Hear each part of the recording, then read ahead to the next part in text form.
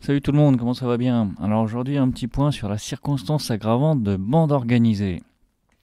Alors elle est définie dans le code pénal évidemment, dans les dispositions générales qui traitent des peines, du régime et des peines, c'est les définitions de certaines circonstances entraînant l'aggravation ou la diminution, voire l'exemption des peines.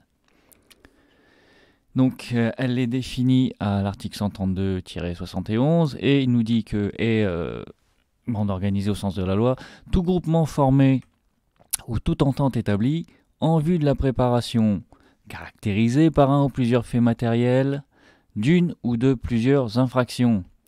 Bon, bah, la définition escalée, ce ne serait pas gênant si euh, l'association de malfaiteurs n'avait pas euh, sommairement la même définition. Hein. Tu peux voir, euh, en vue de la préparation caractérisée par un ou plusieurs faits matériels, d'un ou plusieurs crimes ou plusieurs délits, la seule différence, puni d'au moins 5 ans d'emprisonnement il y a une différenciation, sauf problème, qu'est-ce qui se passe quand euh, le fait incriminé, avec euh, la circonstance aggravante de bande organisée, est lui aussi puni d'au moins 5 ans d'emprisonnement? Eh ben, il faut bien distinguer les deux.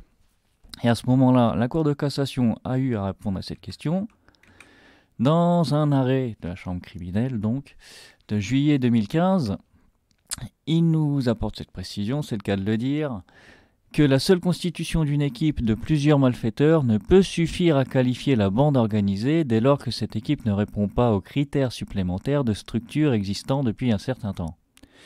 Donc voilà, lorsqu'on a un, crime ou un délit qui peut être potentiellement aggravé par la circonstance aggravante de bande organisée, si cette bande, effectivement, même si pour euh, la commission du dit délit à l'instant T, à communiquer entre elles pour euh, mettre euh, au point euh, le plan, pour mettre en action le plan. S'il s'avère que cette bande n'est pas structurée depuis un certain temps, il y a de fortes chances que la circonstance aggravante de bande organisée ne soit pas retenue non plus.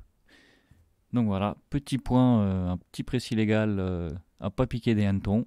On reparlera plus tard sur euh, l'association de malfaiteurs, du coup, comme ça on pourra bien voir euh, les deux. Voilà, voilà. Bon, allez, je te laisse. Je te dis à bientôt. Ciao, ciao.